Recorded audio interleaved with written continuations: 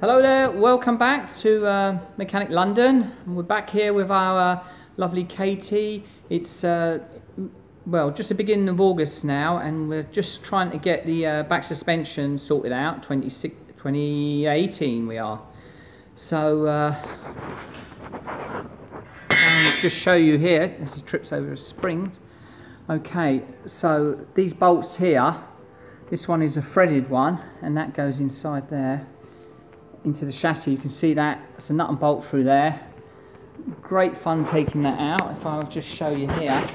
So uh, basically, what you've got, you've got the bush here, you've got the bolt that runs through it. Uh, the uh, actual sleeve itself, what happens is the uh, the bolt seizes on the sleeve. So we've uh, had lots of cutting to do. This one on this side I managed to get out, but on the other side I've had to cut the whole thing apart to get it out. Um, Panhard rod is off there, so a uh, bit of painting going on. So uh, standard height springs, but they do uh, have a bit more strength in here at the bottom. And then uh, if you actually look, I can show you what's actually come off the vehicle, which uh, gives you an idea. Something strange going on there, different ride heights. And we've got our new pieces to go on here. And that's with the poly bushes. They're pretty easy to fit.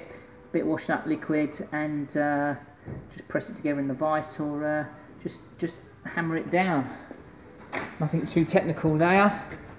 And uh, we go over here these are the uh, sort of uh, hats that fit on top of the uh, axle and there's a rubber grommet sort of fits underneath there. So all we've done with those is polish them up and the same here. And then uh, gave him a bit of lacquer on our new polish machine. Great stuff. Okay that's the sort of uh, where we are at the moment with her uh, and we're going to come down here some point. This uh, handbrake here you can see this needs cleaning up. There's some bushes in here. I've got that. That needs to come off as well because that's all quite tight that is so we need to sort that out as well. Then we can get the prop on. And uh, it will be uh, a bit more mobile then. Okay thank you for uh, watching and don't forget to uh, follow us on uh, Facebook and uh, see you next time. Thanks very much